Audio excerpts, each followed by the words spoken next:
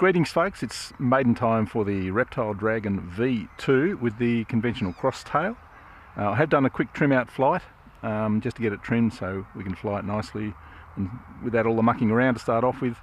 Um, it's ready to go. Flying weight now is 1360 grams. I have a 3300 4S nanotech lipo plus an extra 80 grams of lead in the nose to get balance on the nipples no camera in the nose at all. It's a sort of a, a wet, dewy morning, so the, the camera would just get coated with water. So I'll put the camera up on the nose a bit later on. Stock props, no flight control board, just maidening the plane. Let's go. I have a current sensor on here too, so we can check out the current. Remembering to keep my fingers away from the props and uh, hit the kill switch when I land. Ridiculously easy takeoff. It's going to be hard to see it, isn't it?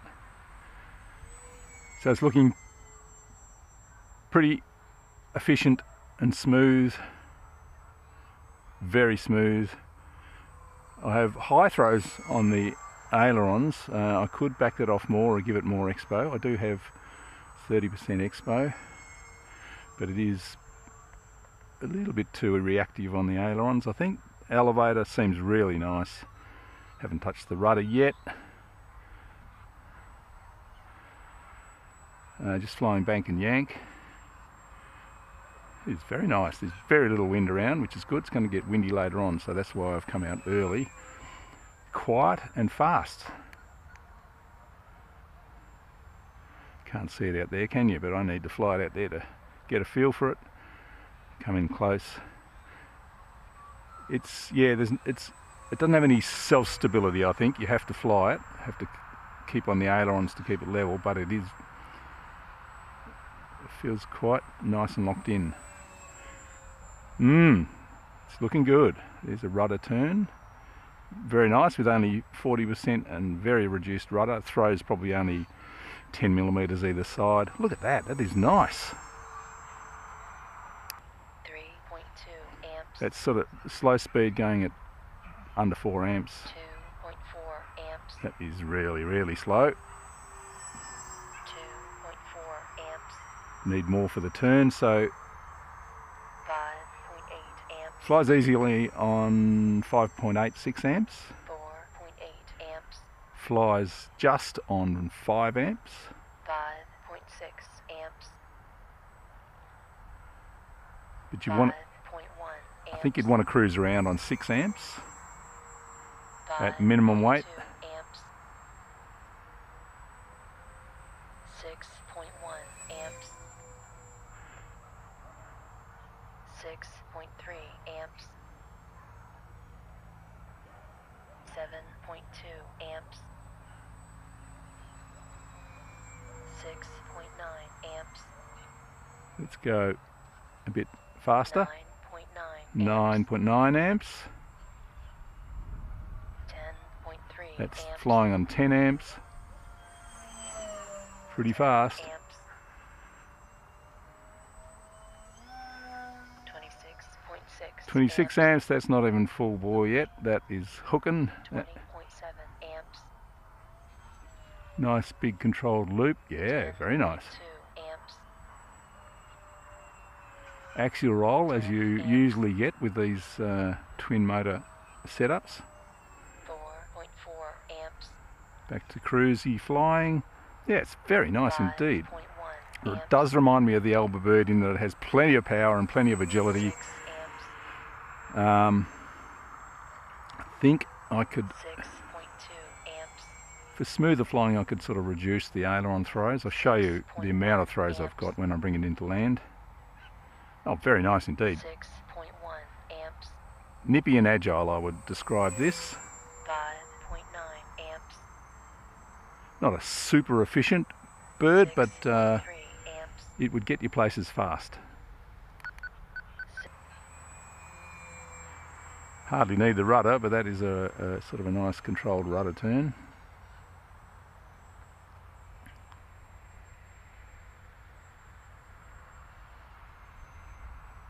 Alright, let's bring it in and have a think about it. It's gliding in. Oh, look at that, nice. Oh, beautiful. I really like it. Throttle cut. Okay, so that is right on the nipples. That just seems right to me. I'm not having to use any up elevator at all. Show you the throws. So it's a fair bit of throws on the ailerons. I do have differential uh, in the ailerons, but I could reduce the amount of weight for the ailerons, I think. That seemed a little bit twitchy. I have got this one trimmed down a little bit for some reason by about uh, three millimeters. Um, so it was rolling to the right a fair bit. Elevator throws seem pretty good. Up 15, down 10 maybe, 15 up and down. Rudder throws just maybe, or oh, probably no more than 10 millimeters either side. Elevate, uh, ailerons would be 20 up, 15 down, could reduce that. So now I'm going to swap to some lithium ion batteries. Pull out the 3300 with extra with extra lead. Parallel up my lithium ions. These don't have to go all the way up in the nose, they have to come back a little bit.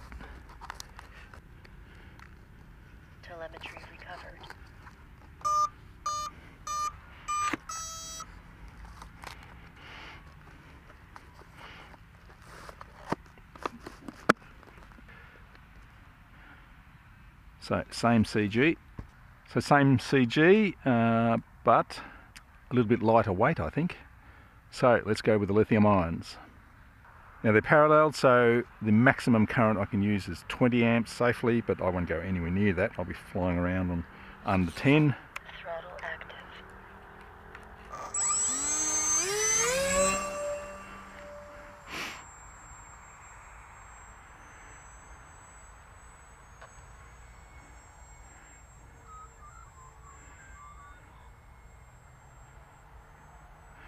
Differential ailerons uh, makes it turn very nicely just in bank and yank. It really carves around as if you're using rudder.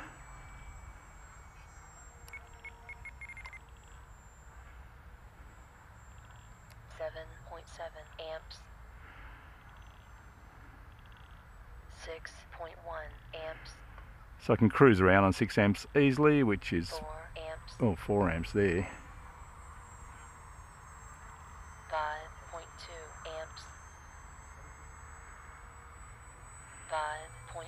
5, 6 amps, no problems at all. 6.3 amps.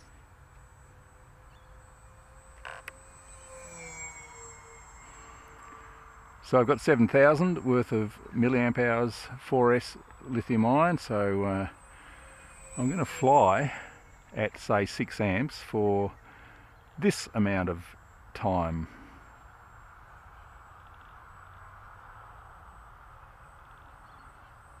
So what I'm, I'm enjoying flying this sort of smooth and controlled low passes. It does that very easily.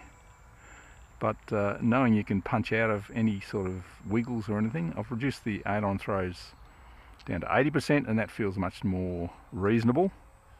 Not so twitchy. Nice, look at that. Nice and quiet with the twin tractors. I'd say it's a bit more agile than the uh, Alba bird. Less inherent stability maybe, but I'll, I'll fly the two side by side eventually. And the killer whale as well, although the killer whale is a, an odd one. Look at that, very nice. Alright, I had better put a camera on so we can get some nice aerial views. Chop the throttle there and glide in.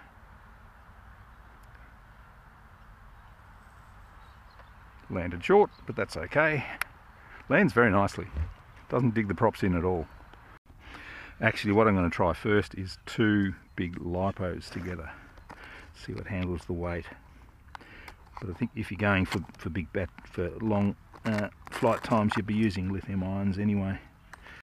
Okay, two 3300s fit in reasonably well. CG a little bit more nose heavy. I can push that back a bit.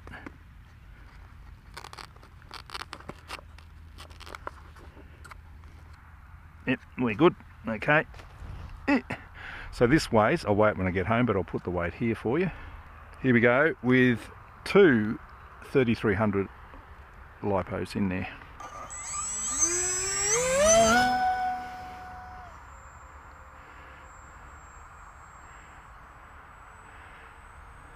Feels fine.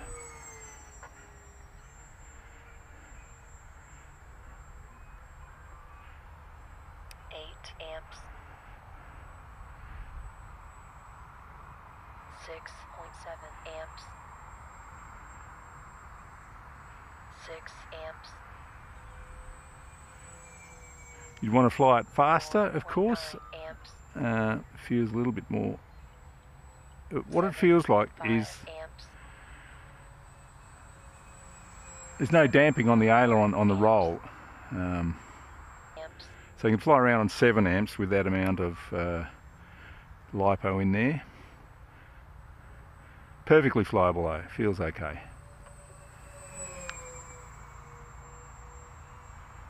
But as I said, if you're going for long range, you'd uh, you'd be using lithium ions. Nice controlled landings. Can land nice and slow. Let's do a little bit of stall testing. How have I got my CG? Oop, CG's back a little bit. Is that a wise idea? No, I better put more weight in there, I think.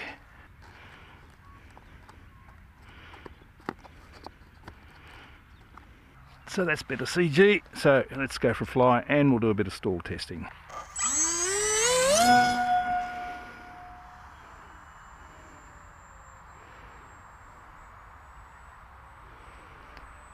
So that is flying very nicely, nice and stable. Let's fly around a little bit first, get some footage before we potentially crash it, which I don't think we will. Look at that, nice.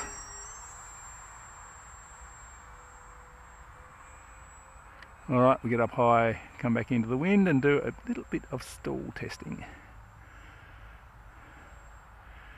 Here we go throttle back.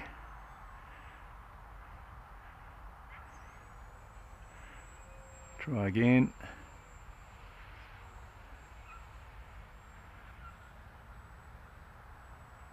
Throttling back. There's the stall, nice and benign. No dramas, nice and uh, level stall. Let's try that again.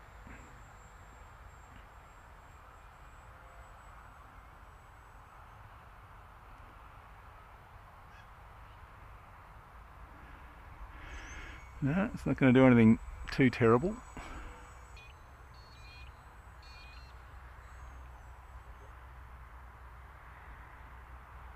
No, just picks up lift again, drops its nose and picks up lift again. Nice sort of fat airfoil will do that, I guess. Well, that's pretty cool. So far, it's a very well behaved, uh, agile, and sort of fast little fella. Very good. All right, so it's all very positive so far. Uh, I'm really liking flying it. Very easy to fly, uh, nice and uh, feels locked in, sort of uh, smooth, um, fairly agile on the on the roll, I guess. No sort of inherent stability, uh, and that's sort of the, the flat wing and the um, low profile fuselage, I guess for me, I think it's a big improvement over the plank. I'm just not a plank person. Um, the crosstail works beautifully. Uh, it'd be interesting to see how the V-tail works too. I might do that eventually, but that'll be a way down the track. Um, I need to get some FPV on this uh, and uh, take it out for a, a, proper nice flight, nice scenic flight. But uh, but so far, thumbs up from me for the uh, second version of the Reptile Dragon. Thanks for watching.